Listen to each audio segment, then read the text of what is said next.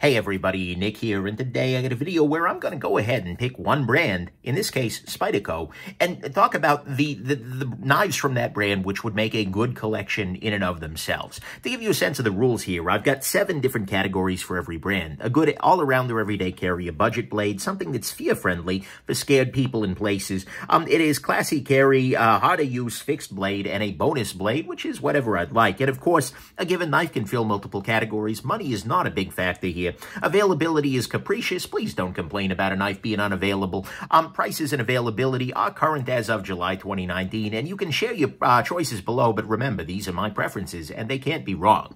Um, so from Spyderco, let's go ahead and jump into it. For everyday carry, um, my number one choice for a lot of people, frankly, just generally, is this little guy. This is the Spyderco Chaparral in FRN. It's 90 bucks, but it's perfectly slicey. It is a really, really nice ergonomic design, very thin, very easy to carry. This is is just a really substantially good knife.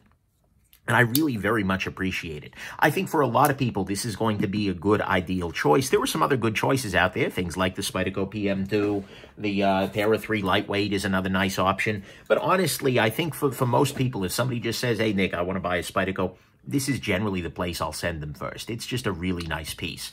Um, for a budget blade, um, the Spyderco Tenacious, Ambitious, and Persistence family are relatively budget-friendly and are pretty damn good. Um, certainly, as you go higher up in Spyderco's lineup, you can eclipse them pretty quickly in areas of things like steel, but nevertheless, these are a nice little area to think about if you're looking for something a little bit more budget-friendly and it's not within your means to save up to, like a Para 3 Lightweight or a Chaparral or something along those lines. Um, in terms of a fear-friendly carry, there are very few knives that are better suited to that than the Spyderco Dragonfly. This is a relatively small knife. It's uh, going to be legal in a lot of places at two and a half inches, um, but it is uh, also very effective. This is a knife that can do pretty much all the cutting you need um, without being super intimidating or scary to people. This is a very, very nice little choice for, uh, you know, an office situation or something along those lines. A classy knife, the Spyderco Ikuchi, is currently sort of the classiest thing they're offering, and it's a reasonably classy looking knife. It's fancy looking. It's a little bigger than you might expect for something like that. Um, the Spyderco Gayle Bradley Air was another really nice choice, um, as in like the One-Eyed Jack and things like that. But this is probably going to be my choice in this category. For something that is hard to use, you have the Spyderco Shaman.